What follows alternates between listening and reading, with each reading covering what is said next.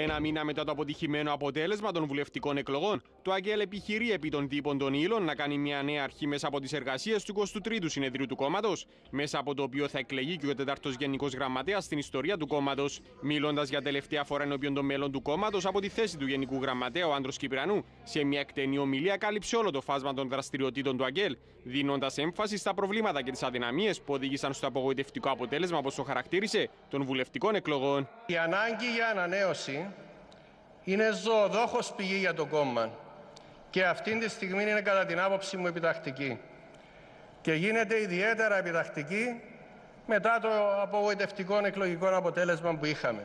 Με έντονο το στοιχείο της αυτοκριτικής, ο άντρος Κυπριανού έκανε λόγο για παραγωνισμό εντός του ΑΚΕΛ, ενώ άφησε ξεκάθαρα υπονοούμενα για υπόσκαψη ανάμεσα σε υποψηφίους του κόμματος. Και αν αποφασίζει κάποιος από εμάς να χτίσει εικόνα για τον εαυτό του, να συζητά στα πηγαδάκια, να σχηματίζει ομάδες συμπεριφερόμενος ως παραγοντίσκος, χωρίζοντας το κόμμα στο εμείς και οι άλλοι, γιατί το ψάχνουμε το λάθος αλλού και όχι σε τέτοιες συμπεριφορές που τρώνε τα σωθικά μας σαν το σαράκι; Ενώ ήταν ιδιαίτερα επικριτικός και σε σχέση με την εμπλοκή ανωτάτων στελεχών του κόμματος σε σκάνδαλα διαφθοράς. Γι' αυτό πρέπει εμείς, πρώτα και κύρια εμείς, δηλαδή όσοι κουβαλούμε πάνω μας την κομματική ταυτότητα, να είμαστε παραδείγματα εντιμότητας και καθαρότητας.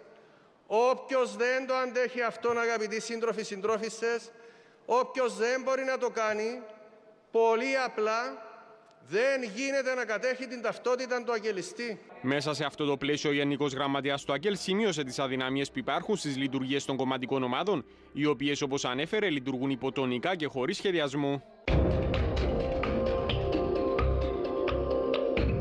Την ίδια ο άντρος Κυπρανού ασκήσε έντονη κριτική στην πολιτική της κυβέρνησης στο Κυπρακό, η οποία, όπως υποστηρίζει, θα οδηγήσει τη χώρα με μαθηματική ακρίβεια στη διχοτόμηση. Κινδυνεύουμε να αποκτήσουμε de facto σύνορα με την Τουρκία στην ίδια μας τη χώρα. Με έναν κράτος που θα επικίζεται και θα εξοπλίζεται συνεχώς. Μοιραία, κάποια στιγμή θα επιδιώξει να επεκταθεί. Με άλλα λόγια, αν επικρατήσει η διχοτόμηση, θα πρέπει να ξεχάσουμε την Κύπρο όπως την ξέραμε. Με τον απερχόμενο Γενικό Γραμματέα του Άγγελ να ασκεί κριτική στην κυβέρνηση, τόσο σε σχέση με την διαχείριση της πανδημίας του κορονοϊού, καθώς και την οικονομική πολιτική που ακολουθεί.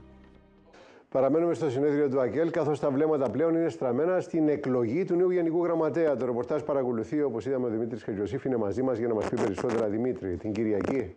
Η ομιλία του Άντρου Κυπριανού Μιχάλη και η τελευταία του ως Γενικός Γραμματέας του ΑΚΕΛ προκάλεσε έντονη συζήτηση στα μέλη του κόμματος και τους παρέσυρε κατά τη διάρκεια της πρώτης ημέρας του συνεδρίου σε μια ουσιαστική συζήτηση με αυτοκριτική διάθεση.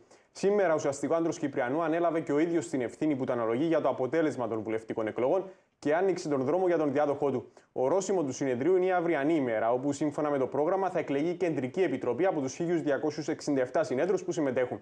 Κρισιμότερη στιγμή όμως είναι την Κυριακή, όταν και θα υποβληθούν οι υποψηφιότητες για τη θέση του Γενικού Γραμματέα, ο οποίος και θα εκλεγεί την ίδια ημέρα από τη νέα Κεντρική Επιτροπή. Σύμφωνα με τις πληροφορίες, Μιχάλη, η μάχη για τη θέση του Γενικού Γραμματέα θα δώσουν εκπρόσωπος τύπου του κόμματος, Στέφανο Στεφάνου, και ο κοινοβουλευτικός εκπρόσωπος Γιώργος Λουκαίδης. Δεν αποκλείεται βέβαια να υπάρξουν και άλλες υποψηφιότητες. Υπήρξαν πληροφορίες για τον βουλευτή του κόμματος, Χρήστο Χριστοφίδη, ο οποίος ωστόσο, αν και σε πρόσφατη του συνέντευξη άφησε ένα τέτοιο ενδεχόμενο ανοιχτό, Εν τούτης φαίνεται να κάνει Μιχάλη δεύτερες σκέψεις. Είναι κούρσα για δύο μια διαδικασία που θα ολοκληρωθεί την Κυριακή, Κυριακή. το μεσημέρι, έτσι.